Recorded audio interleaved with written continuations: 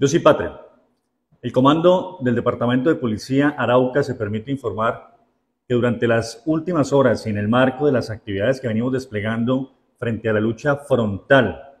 contra el microtráfico y la venta de estupefacientes en diferentes sectores de la ciudad, en el sector de Playitas, en una actividad coordinada con Fiscalía General de la Nación, con nuestro Ejército Nacional y la Armada Nacional, logramos materializar una orden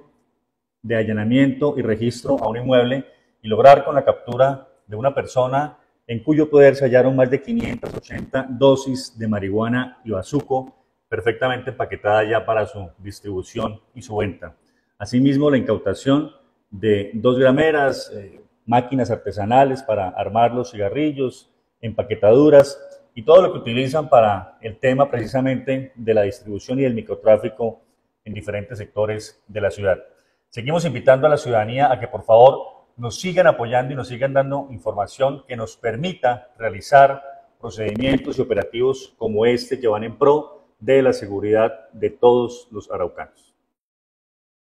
Dios y patria, es un honor ser policía.